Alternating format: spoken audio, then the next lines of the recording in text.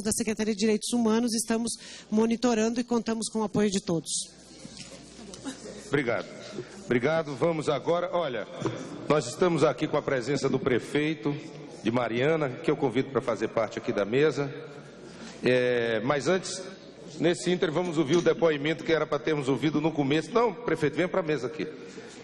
Nós vamos ouvir o, o depoimento da moradora que foi dado na manhã de ontem com a presença da nossa comissão e da Comissão Extraordinária da Assembleia Legislativa de Minas Gerais. Então, é um, um resumo do depoimento de uma moradora lá de Bento.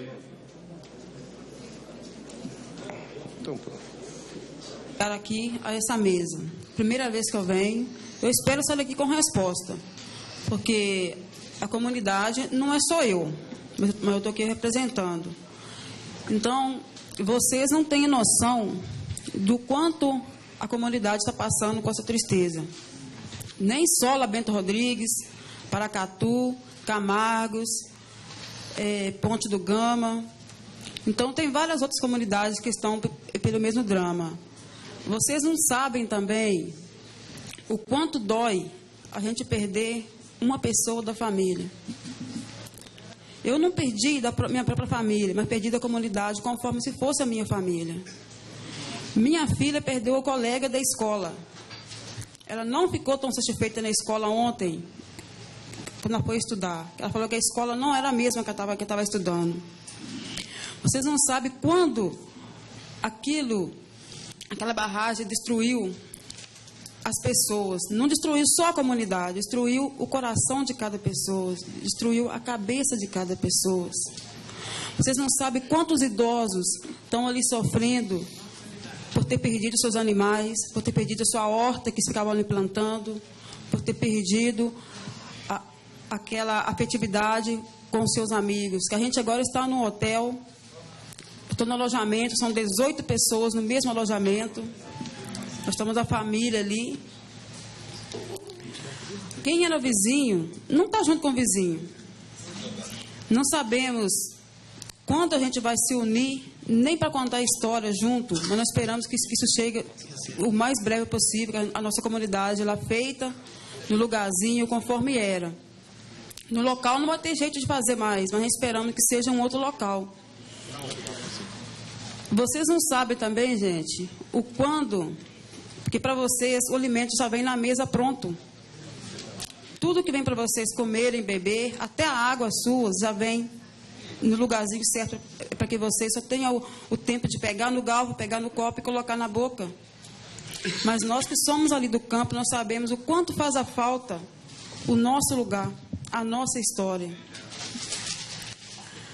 Ali Bento Rodrigues é um lugar histórico. Poucos Poucos ouvem falar de Bento, mas as empresas sabem muito bem que lá não é um lugar novo que foi construído é, com menos de 100 anos, menos de 50 anos. Quando a Samarco construiu aquela barragem lá no alto, lá já havia Bento Rodrigues. Para ser destruído dentro de segundos. Nós nesse dia, nós não tivemos apoio daquela Samarco. Nós não fomos avisados. O nosso aviso, o nosso consolo foi Deus que tirou a gente dali. Foram avisados que disse que comunicou pelo telefone. Eu nem sei quem é da Samarco, se tem alguém aqui que eu não conheço nenhum deles. Mas foi mentira. Não avisaram ninguém. E se aquela tragédia tivesse sido à noite, podia saber que nem eu estava aqui para contar essa história. Ali eram mais de 600 pessoas que estavam ali. Se vocês forem pegar a lista, a maioria das pessoas são idosos. Agora vocês me falam, se não tivesse uma mão de Deus ali e os jovens para estar ajudando aquelas comunidades a sair dali, eles iriam sair daquela, daquela comunidade vivo? A Samarco preocupou com a vida de alguém que estavam ali? A Vale também preocupou? Tem duas duas empresas atuando no local, uma mais alta do que a outra. Elas preocuparam com a água que a gente estava tomando naquele, naquele local. Às vezes a gente falando aqui que a gente não tem o grau de estudo que vocês têm, porque para as empresas o que vale é grau de estudo, mas não, mas não o interior da pessoa. Não dá ouvido. Porque quantas vezes a gente já pediu ali para que a para que não construísse aquela barragem, eles construíram, apenas chegou e falou, nós vamos construir, sem, sem pedir autorização. Compraram em volta, ali onde era a área de lazer, onde as pessoas iam no alto do morro, onde as pessoas viam a fauna. A gente foi proibido de participar desse local. Era só o meizinho ali onde a gente estava. E agora vem dizer que foi avisado. Será que estava contando que o Bento Rodrigues, que o povo Bento Rodrigues ainda vivo? Pelo fato, não. Porque para mim e para todos da comunidade, o que eles queriam, que todos ali estivessem mortos. Porque morrendo, eles não iam ter que pagar indenização para ninguém, não iam ter que preocupar com ninguém, porque saíram de lá e mandaram avisar para Catu. E aonde que estava mais perto? O, o que foi avisado, a Paula, que vocês já, já, já sabem dela, ouviu pelo rádio comunicador do, do serviço dela e saiu correndo avisando na rua São Bento. Do outro lado, a minha irmã, que estava lá na área da companhia, que ligou para mim e falou comigo que, que eu chamasse as pessoas que estavam ali, porque a barragem tinha estourado. Sabe quanto tempo durou desse telefonema até salvar as pessoas? Dez minutos. Esses dez minutos foi o tempo suficiente para que as pessoas não fossem é, esmagadas pelaquela lama que desceram. Quando eu desci dali, mais ou menos, passei da minha casa uns cinco minutos, falei com minha filha, você fica aqui e não sai daqui, porque eu não queria falar com ela que a barragem tinha estourado, porque senão ela ia ser correndo e eu ia perder ela também. Tinha uma pedra, aonde que eu só coloquei a mão na cabeça e só pedi para que Deus protegesse aquelas pessoas que estavam ali, porque tinha pessoas na beira do rio, igual a senhora que está desaparecida, ela mora na beira do rio. O senhor também que está desaparecido também mora na beira do rio. Se estivesse avisado, essas pessoas iam estar presas dentro de casa? Se a barragem começou a romper às duas horas da tarde, às quatro horas a lama desceu, não era tempo suficiente para que as pessoas saíssem até com os bens de dentro de casa? Como que ela tem a capacidade de falar que, que as pessoas foram avisadas?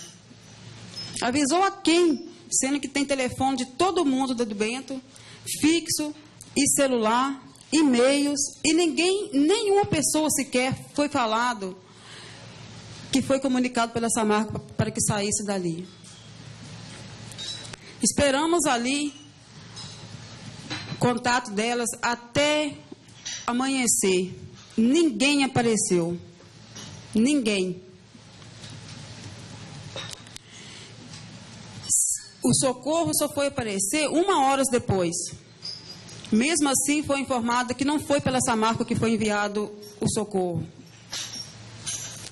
Permaneceu ali mais ou menos umas meia hora e foram embora. Ali a gente ficou no escuro, sem luz sem água e sem comida. Tinha pessoas ali que estavam com cirurgia, já feito cirurgia, com crianças no colo de resguardo, que correram muito naquele morro. E lá não apareceu ninguém. Pedi para socorro, não apareceu ninguém. E agora vem essa marca dizer que, que estava preocupado com o povo do Bento? A preocupação deles era apenas com a mineração com o lucro que estava tirando dali. Porque nós não era nem. Pelo que a gente está vendo aqui, nós não era contado como pessoas para eles, mas sim como lixo. E isso nós não somos, não. Porque se vocês estão ricos hoje, agradeça aquela área do Bento onde vocês estão explorando. Porque se lá não tivesse minério, vocês não estariam lá até hoje atuando lá quase 40 anos naquele local. E uma coisa que eu vou dizer para vocês, gente, aonde vocês já viram uma barragem ser construída em alto do morro? Porque o que eu, que, o que eu entendo, eu não tenho estudo, mas o que eu entendo, que feito pela natureza, Até hoje eu ainda não vi uma lagoa pequena sequer no alto do morro. Agora vai construir uma coisa feita por mão de homens, que segurança não tem, no alto do morro, e ainda com, aquela, com aquelas pessoas lá embaixo sem orientação nenhuma. Era isso que eles queriam? Era só, era só lucros e tirar aquelas pessoas dali? Chegam lá hoje e olham para ver de que forma que está aquele local. Quem já foi lá que conheceu, olha hoje se reconhece alguma rua naquele local. Se reconhece pelo menos aonde foi passado o leito do rio naquele, naquele local. Ali não tem mais animais, não tem vegetal, não tem casas mais naquele local. E ainda vem dizer que está preocupado com o povo, está dando assistência pelo povo. Assistência que veio, os hotéis para, para que a gente de, entrasse na sexta-feira que veio, mas se não viesse também, também era, uma, era uma vergonha também fazer isso.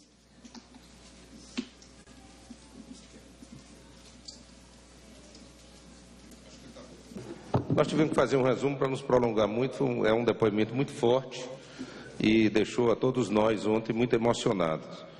É, nós vamos dar seguimento, o prefeito teve que se ausentar rapidamente, mas já está chegando. Eu pergunto se o Luiz Henrique Chicacho está aqui. Luiz Henrique Chicacho? Não. Então, vamos, vamos passar a palavra à nossa procuradora Sandra Quirro Bom, deixa eu ver se eu consigo falar com esse microfone. Acho não, não, sim. tem microfone sem fio aqui. Ah, tá.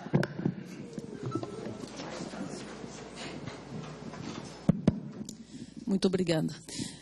Bom, inicialmente eu, eu queria saudar a, as três comissões eh, desta Casa Legislativa eh, responsáveis por essa audiência pública, Comissão de Legislação Participativa, Comissão de Fiscalização Financeira e Controle e Comissão de Direitos Humanos e Minorias.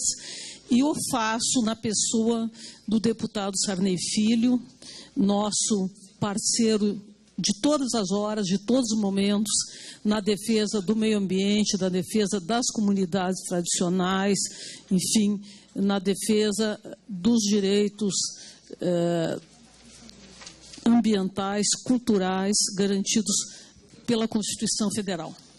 Uh, eu já parabenizei o deputado no Facebook por sua ida a, ao local do desastre, eh, por ter comparecido lá. Eu sei que deve ter sido de grande importância para a população isso. Acredito que, eh, num quadro como o que eles estão vivendo, eh, pelo menos eles se sentiram apoiados e isso eles estavam precisando muito. Eu também fiquei bastante comovida com o depoimento e até com a sabedoria dessa moradora.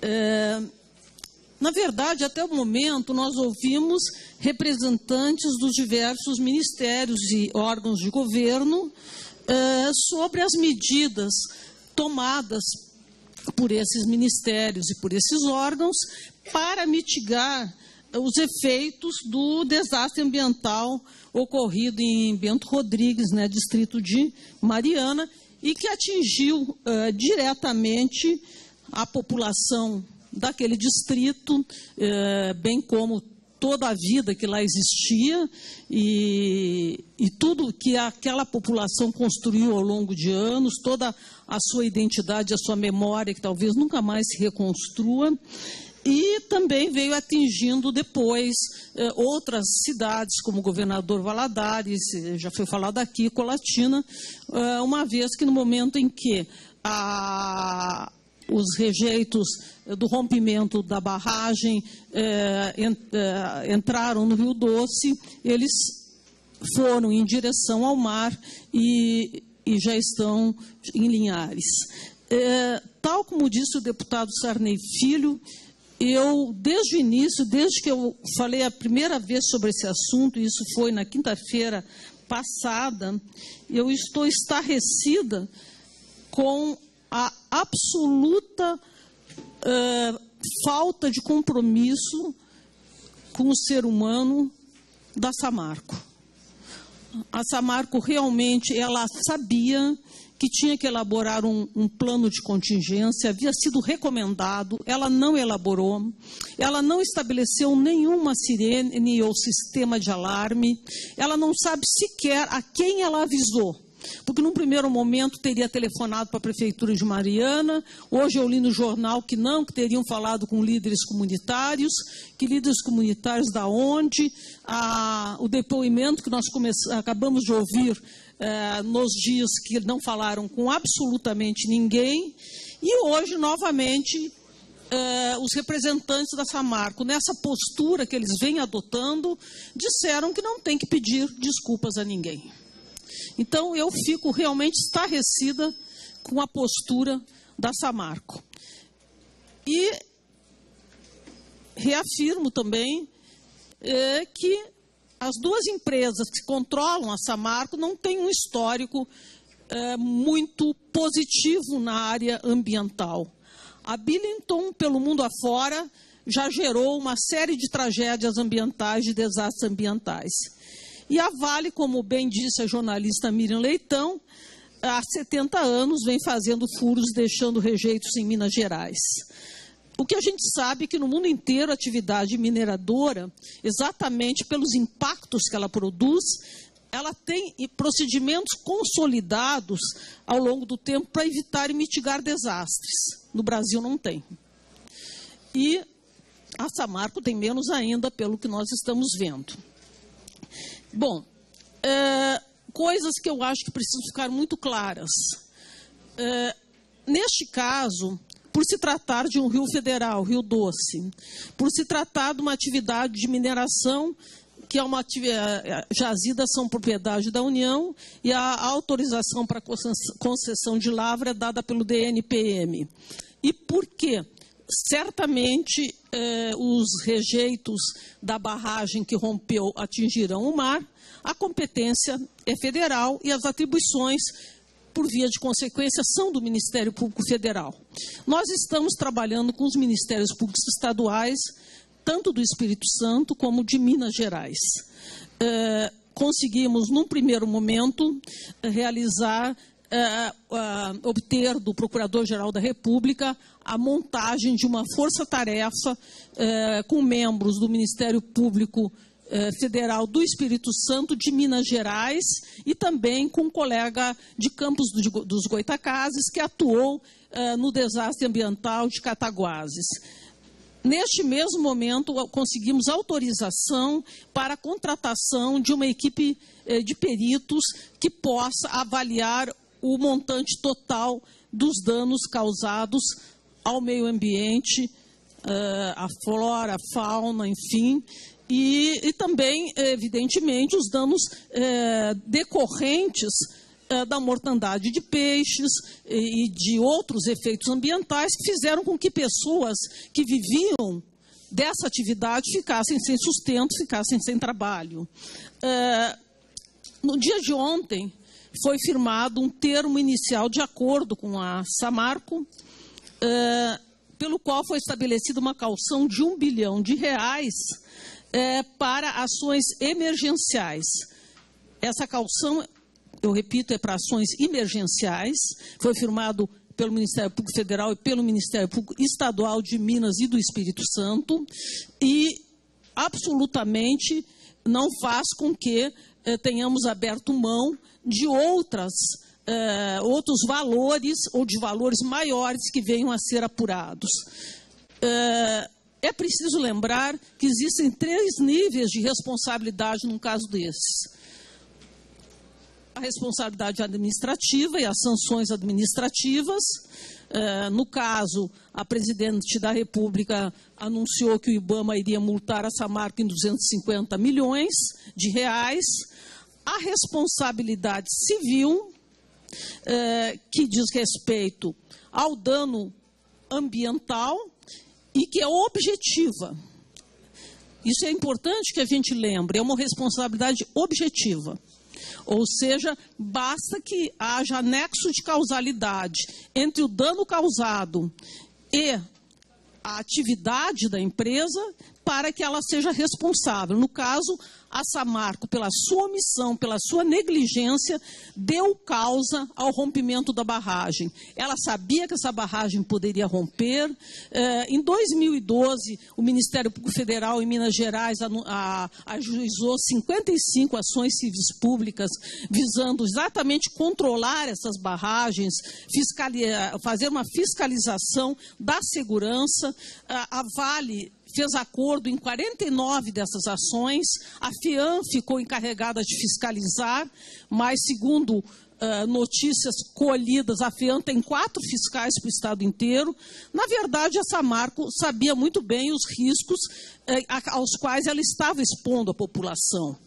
E ainda que não soubesse, tendo ela sido a causadora do dano, ela tem que responder pelos seus resultados. Ela tem que responder por todas as medidas reparadoras e, no caso de não ser possível reparar, pelas medidas compensatórias dos danos e que hoje nós não temos condições ainda de avaliar, porque infelizmente eh, os rejeitos da barragem ainda não, não pararam de. É, se pro, é, de, de, enfim, não pararam de correr através do Rio Doce e não pararam de se propagar nas regiões pelas quais passa o rio e nas regiões próximas. Então, eh, não dá neste momento para se fazer exercício de futurologia e dizer quanto vão pagar ou quanto vão deixar de pagar. Isso vai necessitar de uma perícia eh, que avalie o valor total do dano. E é preciso não esquecer também que existe crime ambiental neste caso. Crime ambiental, vocês sabem, as pessoas jurídicas podem ser réas juntamente com seus diretores ou responsáveis. Nesse caso, nós temos a tipificação de um crime de poluição com pelo menos duas agravantes e duas qualificadoras. Ah, no, no, ah, no, que tange as agravantes, o fato de ter atingido unidades de conservação, nós já temos conhecimento de duas unidades de conservação, e no caso de ter atingido área urbana. Né? E no caso das eh, qualificadoras, que também aumentam a pena, nós temos, então, nesse caso especificamente, o fato da poluição ter se dado eh, através de lançamento de resíduos sólidos, líquidos e detritos eh, em recursos eh, eh, causando poluição de recursos hídricos, no caso a bacia do Rio Doce. Então, se a pena fixada na lei dos crimes ambientais para o crime de poluição é de 1 e 4 anos, essas qualificadoras podem aumentar essa pena. E indubitavelmente existe crime ambiental neste caso. E existe também, não, podemos esquecer, o direito das famílias das vítimas de obter indenização pelas mortes, indenização uh, pelos danos sofridos, uh, e isso também, uh, evidentemente, é um direito que não, não pode ser renunciado eu vi com alguma preocupação, confesso, o decreto da presidente da República, eh, no qual ela eh, disse, dispôs eh, que, para fins de liberação do fundo de garantia, o desastre de Bento Rodrigues seria considerado um desastre natural. e seria meio como se se dissesse que, a, para fins de para fins de é, dar um colorido maior às frutas, a, a, laranja hoje passa a ser azul, né? É meio por aí. É. E, e, ainda que isso tenha sido inserido numa lei de fundo de garantia, me preocupa muito.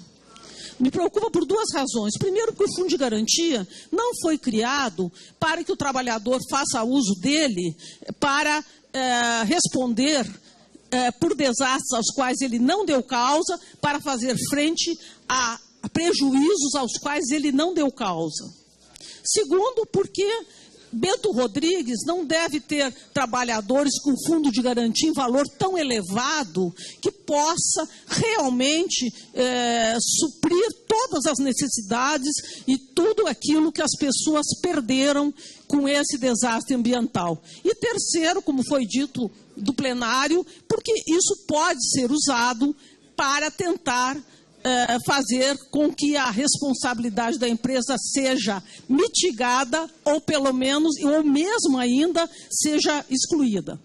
Não acredito que isso vá acontecer, possa, eh, pode ocorrer, mas não acredito que isso vá ser aceito por nenhum tribunal neste país, porque realmente desastre nacional é, é natural, é tsunami, é, é, tremor de terra, não é, é rompimento de barragem, que realmente já estava naquela crônica do, do crime anunciado, barragem que já tinha sofrido diversos alteamentos, que já estava com ameaças de romper. Jamais pode ser um desastre natural. Então, uh, não sei se eu consegui, nesses poucos minutos, colocar a posição do Ministério Público, mas a nossa posição, resumindo, é cobrar da Samarco todas as medidas necessárias para indenizar os danos ambientais, para recuperar os danos onde for possível. Isso não é algo que vai ser feito em pouco tempo, não. Um rio não se recupera em um ano ou dois, um rio custa muito a se recuperar. É, para que ela indenize as vítimas, para que ela responda pelo crime cometido. Essa, essa é a posição do Ministério Público. E, uh, enfim, é nesse sentido que nós estamos atuando e vamos continuar a atuar. E, acima de tudo, não será o povo brasileiro, através dos seus impostos, que irá pagar pelo desastre que a Caçamarco, pela sua negligência e pela sua omissão, causou. Muito obrigada. Obrigado, procuradora. Bem, nós vamos ouvir agora, como último orador da primeira mesa, nós temos outra mesa ainda, o prefeito de Mariana, Duarte Júnior. Boa tarde a todos. Queria cumprimentar o deputado Lincoln Portela, o general Adriano, que esteve na cidade de Mariana, cumprimentar a subprocuradora Sandra. Muito obrigado pela forma como a senhora conduziu e repassou muito bem o recado, e é o que a gente percebe a Gisela Dan representando aqui também o, Ministério do Meio Ambiente. Percebi ela conversando comigo o sentimento também de ser humano da preocupação com a nossa cidade. Cumprimentar em nome de todos os deputados e senadores aqui presentes, o deputado Sarney Filho, que esteve no município de Mariana, levando lá a sua palavra de preocupação e também assumindo a responsabilidade de nos ajudar nessas conduções dos trabalhos. Cumprimentar o Ronaldo Bento está aqui do Sindicato Metabase de Mariana, que tem acompanhado e tido muita responsabilidade com tudo que aconteceu. A secretária de Ação Social, Regiane. Cumprimentar um grande amigo que está aqui presente e que tem sido de fundamental importância é, para me ajudar com a sua experiência, o prefeito de Itabirito, Alex, muito obrigado por sua amizade. Dizer que o momento em Mariana ainda é muito difícil é a nossa maior tragédia, com toda certeza, da cidade de Mariana e a maior tragédia ambiental. Dizer que ainda existem muitos desaparecidos e isso não fecha o ciclo das famílias.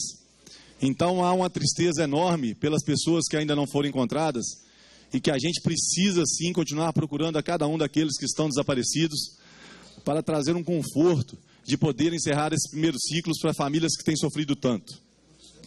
A gente tem dito que nós entendemos nesse momento que a empresa Samarco Mineração ela é totalmente responsável por tudo o que aconteceu. Nós entendemos que a empresa é sim responsável pelo que aconteceu e ela deve sim arcar com todas as consequências dessa tragédia. Temos dito que a gente está separando a responsabilidade da culpa, porque a culpa, como bem colocou a Sandra, a gente entende que quem tem que conduzir esse trabalho é sim o Ministério Público, para entender e explicar para todo o povo brasileiro o que aconteceu.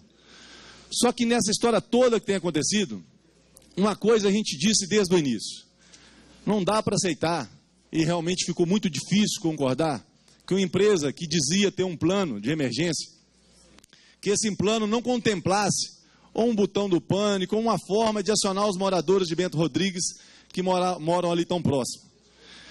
Sem dúvida alguma, como disse a Rosilene aqui, na sua fala gravada, a tragédia era para ter sido muito maior do que aconteceu. E Bento Rodrigues demonstrou algo muito importante para todos nós: que o ser humano tem seu valor sim, e o que aconteceu no Bento só não foi pior porque as pessoas preocuparam com o seu próximo.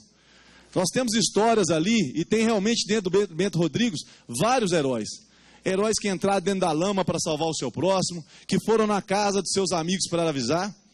Histórias realmente assim que machucam demais da conta, principalmente para quem é um pai. Teve um pai que estava com dois filhos sendo carregados no braço, e infelizmente um dos seus filhos escorregou do seu braço e foi embora. Então, assim, tem muita coisa acontecendo na cidade de Mariana, e é uma tristeza enorme que tem se abatido sobre lá. Mas a gente precisa entender também que a gente precisa agora tentar sair melhor disso tudo que aconteceu. Eu digo que a cidade de Mariana, e eu estou o prefeito há cinco meses, a cidade de Mariana está aprendendo demais com essa tragédia. Nós sempre fomos dependentes da mineração. Mais de 80% da minha receita advém da mineração. E nós nunca trabalhamos a nossa diversificação econômica. Assim que assumiu o município de Mariana, Mariana tinha uma despesa de 25 milhões e estava arrecadando 19. Nós tivemos que fazer uma contenção, porque qualquer um dos senhores sabe que não dá para viver dessa forma, e tivemos que fazer cortes para equacionar as contas públicas. Graças a Deus, equacionamos as contas e agora nós estamos vivendo uma nova realidade que nos preocupa muito. E eu preciso aqui também me posicionar, porque eu preciso muito que o Congresso Nacional ajude muito a primeira cidade das Minas Gerais.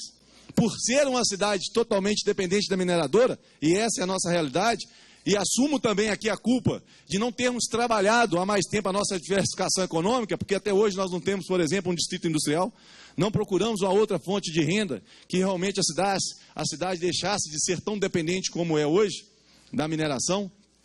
Mas posso dizer que a partir do mês de janeiro, o município de Mariana deixa de arrecadar o ISS e o CEFEM. Somente esses dois tributos representam 7 milhões nos cofres públicos. Se a gente não achar uma saída para que a empresa seja também responsável para a manutenção desses tributos, eu digo que a tragédia Mariana vai ser muito maior do que se parece, porque serviços básicos terão que parar, porque nós não teremos condições de manter serviços que são feitos hoje no nosso município escola em tempo integral, funcionários efetivos, uma guarda municipal, porque nós dependemos dessas receitas para manter esses serviços que nos são, eh, que nos são essenciais no dia de hoje.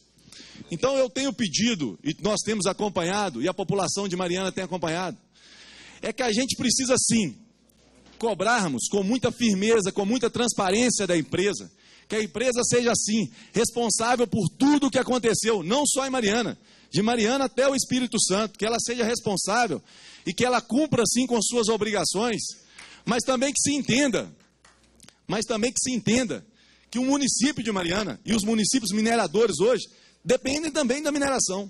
A gente vai ter que achar um caminho que a mineração continue e que ela arque com as consequências do que aconteceu e melhore muito os seus planos. Nós temos hoje mais de 700 barragens, somente no estado de Minas Gerais. Está aqui o meu amigo Alex, nós estávamos conversando com o prefeito Zelinho, de Congonhas. A sua cidade inteira está debaixo de uma barragem. E eu trago aqui a sua preocupação que ele tem também, porque uma barragem que era extremamente segura, que era a barragem dessa marca mineração, ela se rompeu e trouxe um enorme prejuízo para toda a nossa história do nosso Brasil. Eu queria é, pontuar algo que para mim é muito importante.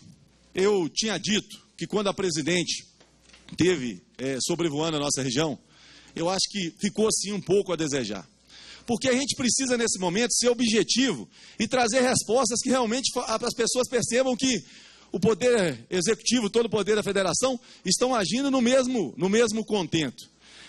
É, digo isso porque eu, eu, eu, recebi a visita da nossa, da nossa presidente do IBAMA, a Marilene, e eu gostei muito como ela conduziu a sua visita em Mariana. Porque tem coisas daqui do Congresso que a gente precisa rever e tem que partir daqui. Por exemplo, a multa de até 50 milhões. Particularmente, nós sabemos o lucro dessas empresas, é pouco a multa ter esse valor, mas nós sabemos que a lei hoje só permite que a multa chegue até o valor de 50 milhões. Nós precisamos que reveja a lei, que a, que a multa seja revertida para os municípios, municípios afetados. Não só o município de Mariana, todos os municípios. Mas quando eu conversei com a presidente do IBAMA, eu gostei muito que ela foi muito serena. A gente, quando conversou, e a nossa subprocuradora disse com muita propriedade que a responsabilidade da empresa é objetiva e ela vai ter que arcar com tudo que aconteceu, a multa ela não pode ser revertida para recuperar as áreas que se perderam. Ela tem que ser revertida para investimentos em novos locais.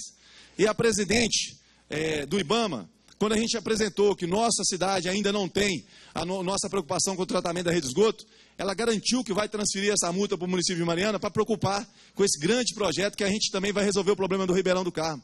É isso que a gente está querendo nesse momento. Que pessoas venham nos continuar nos ajudando, mas que nos ajudem realmente com propostas objetivas.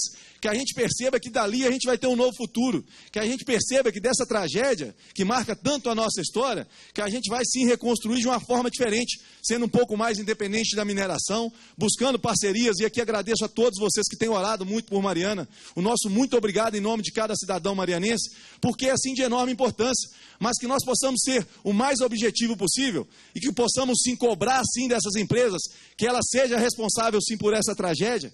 E tenho que ser sincero em dizer também que até agora, no momento, tudo que nós cobramos como município em relação à empresa, a empresa não se furtou, por mais que volte a dizer, ela é responsável e ela tem que arcar. Mas ela não se furtou até o momento com as suas responsabilidades.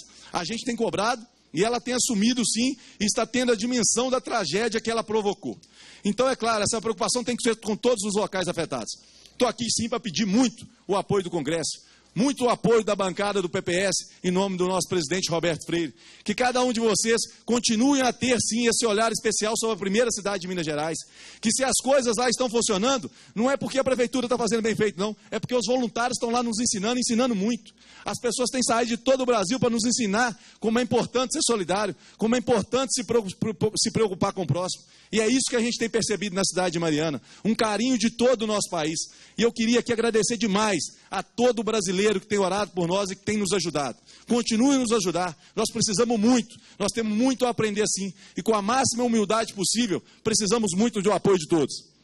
E eu tenho dito que eu não tenho o direito de errar, porque o meu compromisso não é com os homens. O meu compromisso é com Deus. Muito obrigado.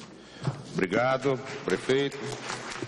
Nós vamos agora desfazer essa mesa pedindo que os palestrantes fiquem ainda aqui, porque ao final da segunda mesa nós vamos é, abrir a palavra para os inscritos. O, enquanto a mesa se desfaz e os novos é, palestrantes, Luciano Evaristo, José Carlos Salles Campos, Carlos Nogueira Costa Júnior, Ronaldo Alves Bento e Carlos Henrique Medeiros possam se dirigir à mesa. Eu passo rapidamente, porque tenho um compromisso ao deputado Roberto Freire a palavra. Senhor presidente, eh, senhores deputados, senhores palestrantes, ser muito breve. Eu hoje, em nome do PPS, inclusive, eh, fiz um artigo falando que o luto não tem fronteiras e não distingue o fato que provocou esse luto falando de Paris, de Beirute, por conta do fundamentalismo religioso, da intolerância religiosa e do terrorismo internacional do Estado Islâmico, falando também de Mariana. E com uma preocupação, é de que a empresa responsável por isso efetivamente seja punida e responsabilizada. Por isso, vi com muita satisfação o Ministério Público já encaminhando a, a forma de agir para buscar essa responsabilização das empresas que são responsáveis por esse desastre ambiental. E ela nos trouxe algo que aí sim nos preocupa e eu queria falar aqui para as comissões, as três comissões que estão aqui presentes.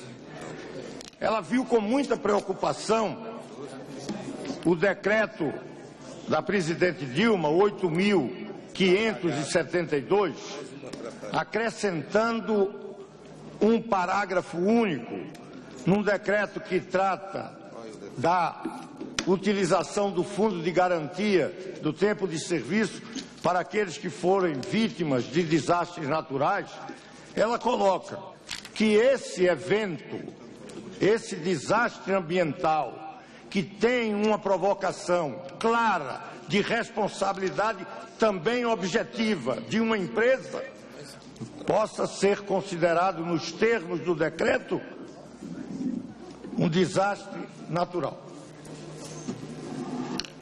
As, a, o, o membro do Ministério Público Federal alertou para os riscos deste decreto.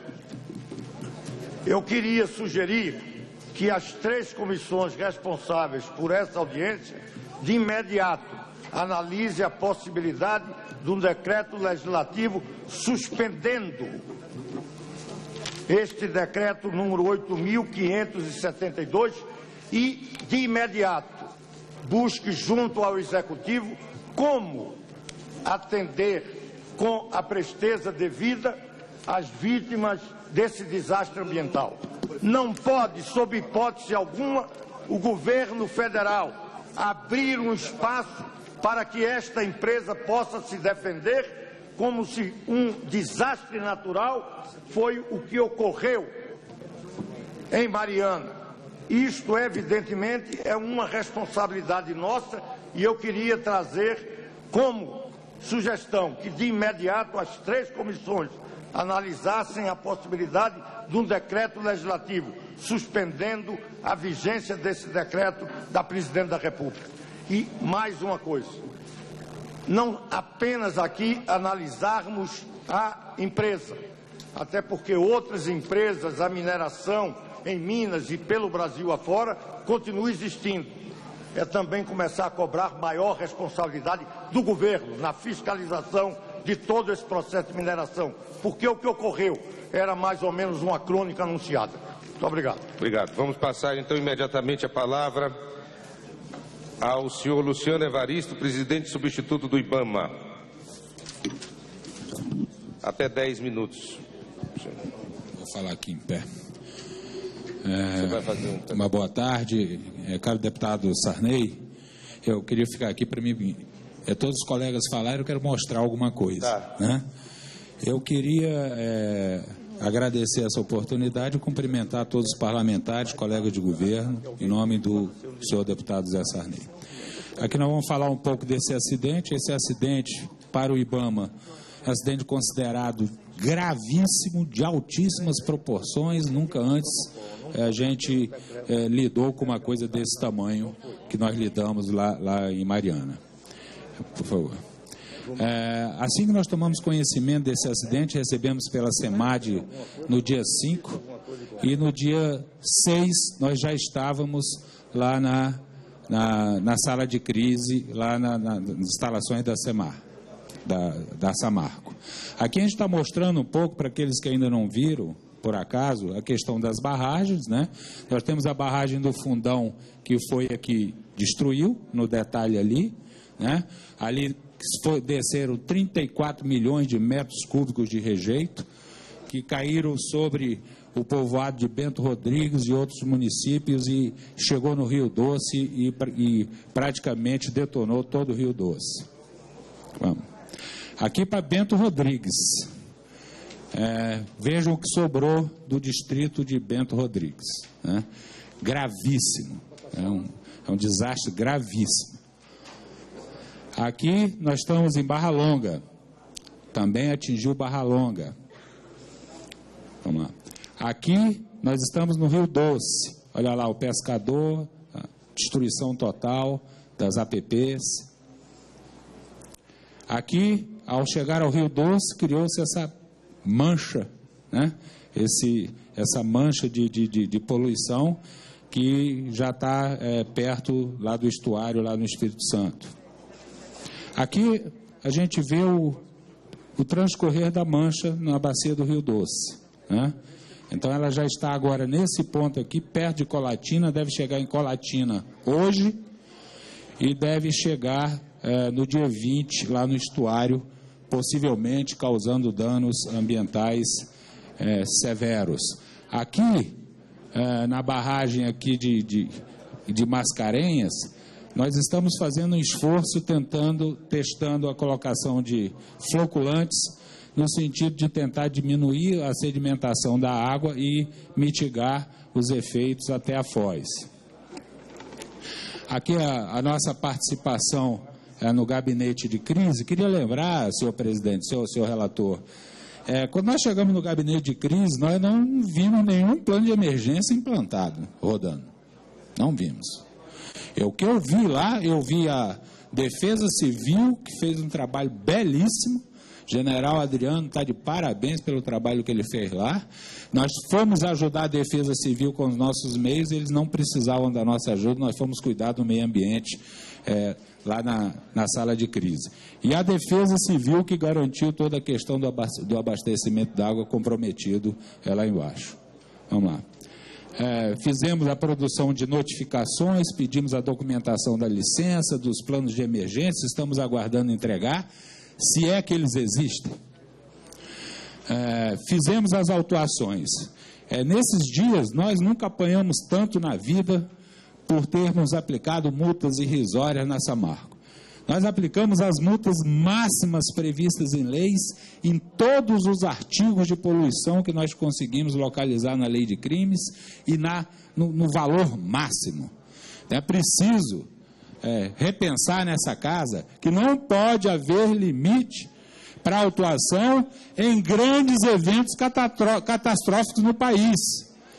Porque quando você limita a autuação em 50 milhões, aquele que tem lá um custo de 500 milhões para segurança, ele vai preferir deixar cair, porque o custo dele vai ser melhor. Estou dizendo assim no, no exagero, deputado. É, mas temos que rever esse valor máximo. O IBAMA ficou muito incomodado porque sabia que a multa não ia fazer nem cócegas é, no poderio da empresa que, que, que tinha é responsável pelo dano. É, nós estamos agora lá fazendo as vistorias, as vistorias para avaliação do impacto, ajudando no resgate de fauna. Nós estamos lá identificando, identificamos, deputado, por incrível que pareça, um alento, um alento naquele rio identificamos formigas fazendo formigueiro na lama, identificamos um, um, um, ninhozinho, um abrigo dentro da lama, parece que o rio querendo reagir, querendo se recolonizar. É um alento para a gente não desanimar para a grande tarefa que nós vamos ter aí na frente, que é recuperar esse rio. Aqui nós estamos fazendo, antes da mancha chegar lá no Espírito Santo, nós estamos correndo na frente, resgatando a fauna, resgatando as matrizes de peixe, os peixes endêmicos, para tentar é, recolonizar na hora que for é, possível. Aqui nós estamos acompanhando as coletas de água feitas pela empresa. Aqui, quando estivemos lá no local, é tentando desenvolver alternativas para diminuir o impacto é, da lama sobre a, as populações. Então, nós estamos ali com especialistas da Universidade de Minas Gerais, da Universidade do Rio de Janeiro, discutindo o emprego de substâncias químicas no sentido de fazer com que a lama precipite e diminua os impactos. Aqui estão, aqui vocês podem ver todo uh, levantamento que nós estamos fazendo das APPs impactadas. Por que, que eu estou mostrando isso? Qual é o papel do IBAMA agora lá? Todas as instituições têm o seu papel. O nosso é identificar os danos, mensurar esses danos, avaliar esses danos e fazer todas as outras autuações que nós ainda faremos. Nós ainda não autuamos a fauna, nós ainda não autuamos as APPs, ah, ah, os problemas que ocorrerão, ocorrerão lá no estuário. Nós vamos fazer todas as autuações necessárias e o principal, quando a promotora, a procuradora da República colocou aqui, todo o trabalho administrativo do IBAMA e técnico no levantamento desses danos será usado para respaldar os processos criminais, os processos cíveis e os processos de indenização e de reparação serão calçados por esse trabalho que a gente é, é, vai fazer aqui. Aqui um levanta o levantamento aéreo fotográfico georreferenciado também para suportar os laudos que vão segurar ah, as medidas de reparação. Aqui, para vocês terem ideia do, do, do, do, desses levantamentos aéreos que a gente está fazendo. Vamos lá. Aqui, deputado, para fechar meu tempo, nós fizemos uma comparação com alguns acidentes, né?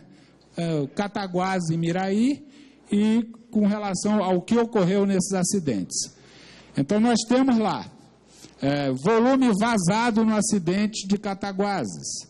Nós temos lá é, 1.200, 1 milhão e 200 mil metros cúbicos. Nós temos lá vazado em Miraí 2 milhões e 280. Nós temos vazado no fundão 34 milhões de metros cúbicos. Olha o impacto disso aí.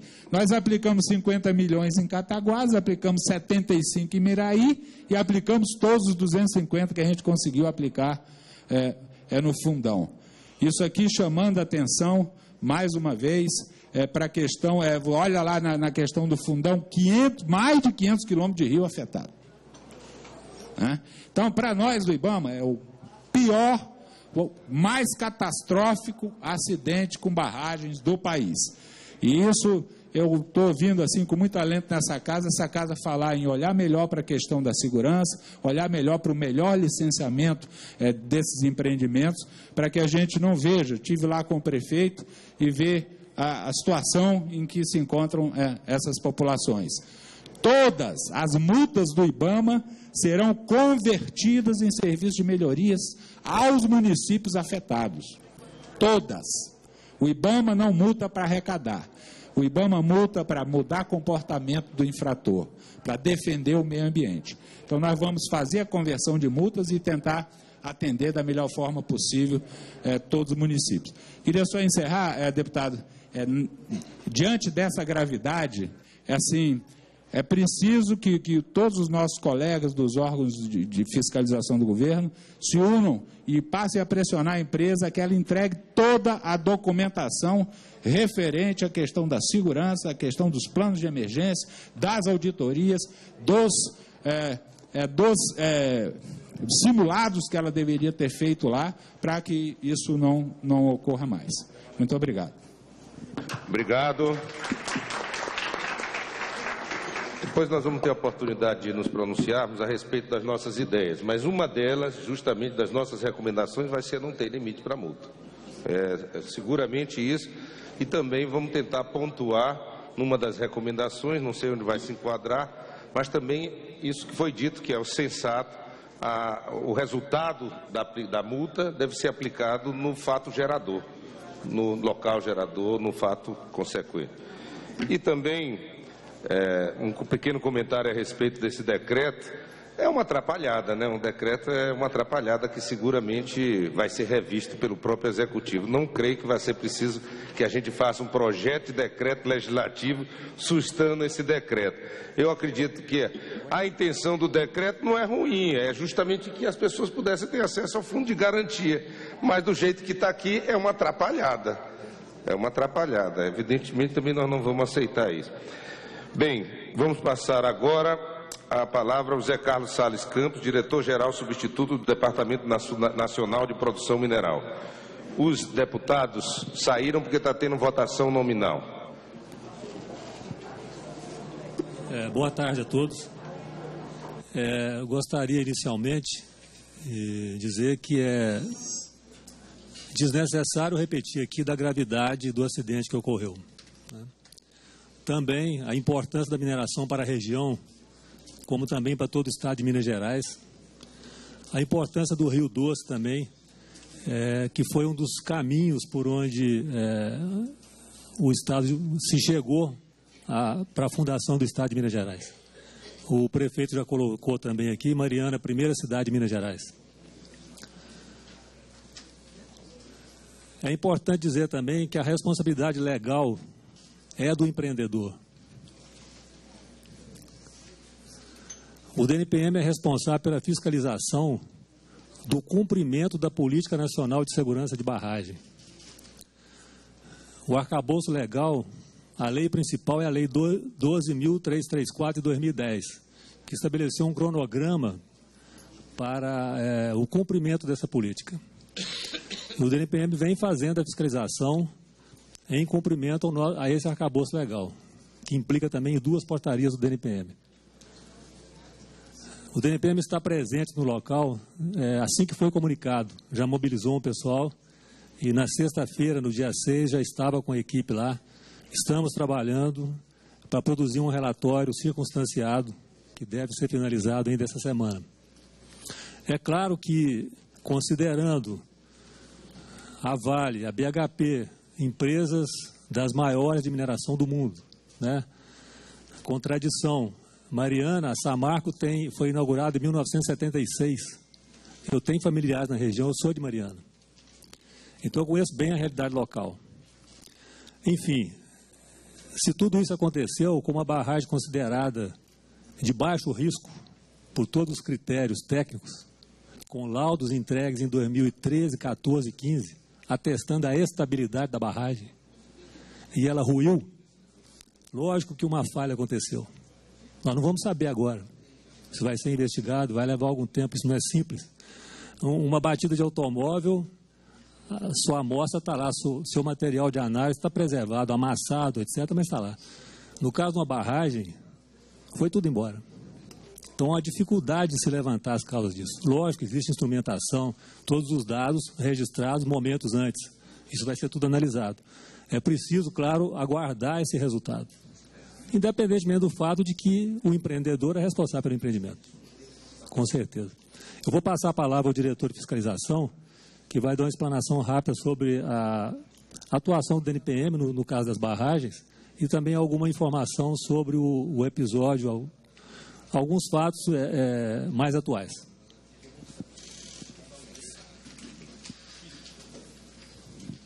Obrigado. Vamos passar agora ah, tá.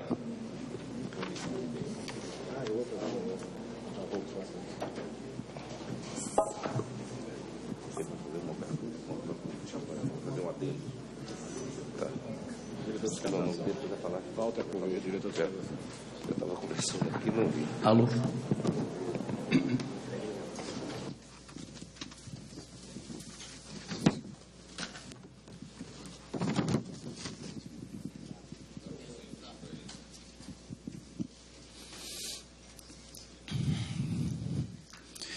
Saudação ao deputado Sarney Filho, em nome dele, cumprimento todos os parlamentares presentes, toda a mesa presente.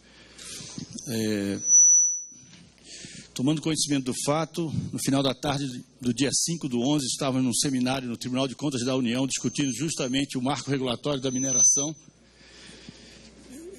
É, mobilizamos a Superintendência de Minas Gerais e deslocou na manhã do dia seguinte, dia 6, ao sítio do evento é, engenheiros de Minas Civil e geólogos, acompanhado do superintendente de Minas Gerais. Desde então, o DNPM está com toda a sua atenção voltada para os fatos ocorridos. Foi lavrado um auto de interdição da usina de tratamento, determinando a paralisação imediata das operações de unidade de tratamento. O prazo para desinterdição é indeterminado e dependerá é, de toda a solução é, do problema e do cumprimento de legislações ambiental, mineral e segurança do trabalhador por parte da empresa. O rejeito é um rejeito inerte, é, não tóxico, da extração de minério de ferro. Trata de concessões de portarias de lavra da Samarco Mineração S.A., controlada pela Vale S.A. e BHP Billiton, em vigor e em atividade a, a empresa realiza mineração nesse local desde 1976. O volume de rejeitos na é, a barragem de Germano, que não rompeu, o volume de rejeito depositado é de 116 milhões de metros cúbicos. Na barragem de Fundão, o volume do rejeito depositado antes do seu rompimento, em 5 do 11, era de 55 milhões de metros cúbicos sendo que depois do acidente o volume de rejeito passou a ser de 21 milhões de metros cúbicos. Na barragem de Santarém, que resistiu, não rompeu, o material galgou por cima dela, como pudemos passar fotos, foi é, noticiado no Fantástico. O volume de sedimentos e água antes do acidente era de 7 milhões de metros cúbicos e agora o rejeito passou a ser de aproximadamente 5 milhões e 500 mil metros cúbicos. A empresa tem a obrigação de cumprir o, o cronograma de o plano de segurança da barragem, o plano de ação de emergência, e esse plano de segurança da barragem tem inúmeras obrigações. Eu gostaria que passasse de onde, depois de aprovada aqui nesse Congresso a Lei de Segurança de Barragem, o Conselho Nacional de Recursos Hídricos é, regulamentou, através da resolução 143 e 144, a, a classificação das barragens segundo o dano potencial associado e o risco crítico. O dano potencial associado basta ter população ajusante, ele é alto. O risco crítico é em função da condição da barragem, da gestão da barragem, de uma série de parâmetros técnicos. Próximo. O empreendedor é o responsável legal pela segurança da barragem, segundo o artigo 4 inciso 3 da lei, e sem prejuízo das ações dos órgãos ambientais, a fiscalização da segurança de barragem caberá à entidade otorgante de direitos minerários. Próximo é, maciços abaixo de 500 metros estão fora da política. Próximo.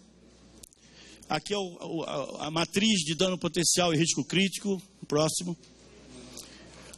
São obrigações do empreendedor prover os recursos necessários à garantia da segurança da barragem, manter serviço especializado em segurança de barragem, providenciar a elaboração e atualização do plano de segurança, realizar inspeções periódicas, inspeções regulares e de emergência, elaborar plano de ação de emergência, cadastrar e manter atualizadas as informações. Próximo. Obrigações do órgão fiscalizador: manter o cadastro das barragens, exigir do empreendedor anotação de responsabilidade técnica, exigir o cadastramento e atualização das informações relativas à barragem no Sistema Nacional. Próximo. O DNPM já regulamentou via portaria é, outra obrigação imputada aos órgãos fiscaladores foi regulamentação dos artigos 7 cadastramento, plano de segurança, artigo 8 inspeções, artigo 9 revisões periódicas, artigo 10 e 11 e 12, plano de ação de emergência. O DNPM tempestivamente regulamentou pela portaria 416 de 2012, criou o Cadastro Nacional de Barragem de Mineração, dispôs sobre o plano de segurança, revisão periódica, inspeções. Essa portaria ela é muito detalhada em todas as obrigações do empreendedor de, de barragens. Em 2013, a portaria 526 estabeleceu a periodicidade de atualização e revisão, a qualificação do responsável técnico, o conteúdo mínimo e o nível de detalhamento do plano de ação de emergência barra de mineração. Todas as portarias foram submetidas à consulta pública, visando publicidade de seus atos normativos. Próximo. O cadastro de barragens é, tem seis lâminas no relatório anual de atividades que todo minerador tem que entregar ao departamento com todos os parâmetros técnicos das barragens. Próximo. Dando transparência a todo esse processo, deputado, o DNPM criou no seu site o, o acesso a todas as informações sobre as barragens de mineração no Brasil. Aqui era o site anteriormente e agora como ele está hoje. Você tem banner explicando toda a legislação, o cadastro e você navega pelo Google Terra em cima de cada barragem. Elas estão lá cadastradas com a sua categoria de risco e dano potencial associado. Próximo. Esses mapas interativos conseguem, a sociedade consegue navegar e ver todas as barragens de mineração cadastradas. Próximo. É, ainda de forma insuficiente, porque último concurso nosso foi em 2006, essa lei é de 2010, depois pedimos outros concursos, ainda não fomos atendidos. Nós não temos engenheiros geotécnicos para atestar, nem a lei indica isso, para fazer a teste da segurança de barragem. A responsabilidade legal para atestar a segurança de barragem é do empreendedor. Isso é importante ficar claro. Agora, treinamos equipes nossas é, na Universidade Federal de Ouro Preto, no curso da Agência Nacional de Águas e do é, Plano Tec, é, Parque Tecnológico de Itaipu e com especialização na Universidade Federal da Bahia e reciclagem com o Banco Mundial e é, grupo de engenheiros dos Estados Unidos. Nos Estados Unidos, quem 70% das barragens são fiscalizadas pelo Corpo de Engenheiros do Exército Americano. Muito insuficiente isso aqui, mas o que foi possível ser feito. Próximo. É, de 2011 a 2014, nossas fiscalizações com o caráter que nosso diretor-geral informou, né, é, de, de, verificar o cumprimento das portarias, é, já chegou a 480 barragens fiscalizadas. Próximo. Aqui agora é a situação de, é, do acidente de Mariana. A, a, o complexo de barragem tinha a barragem de Fundão, essa aqui, que rompeu, a barragem de Germano, essa aqui, e mais embaixo a barragem de Santarém, que segurou. Essa aqui desceu, a barragem de Germano, essa aqui tem esse, esses diques aqui, que, que se faziam é, ligação com, com o fundão. Fundão descendo, houve prejuízo a essas estruturas também e a Santarém. Isso é que é importante agora nessa audiência registrar, deputado. Próximo. Assim, volte. Nossa equipe tem ido lá direto, é, é, é, periodicamente para sobrevoar cada área dessa e verificar em campo é, trincas, rachaduras e trazer essa informação. Estamos com um plano de, de, de emergência diário. Estamos com a equipe lá, né? E Belo Horizonte e aqui dando resposta à sociedade. Estamos com já 82 perguntas da mídia, né? E peço desculpa de não estar podendo atender, porque a gente, tá, a gente não tem uma estrutura de fiscais como o IBAMA, com 1.400 fiscais. Nós temos 200 fiscais apenas para 150 mil processos e para mais de 30 assuntos é, em, em, que as barragens é um deles, infelizmente. É, aqui o dique de Celinha, pode passar. Aqui a vistoria da estrutura principal de Germano.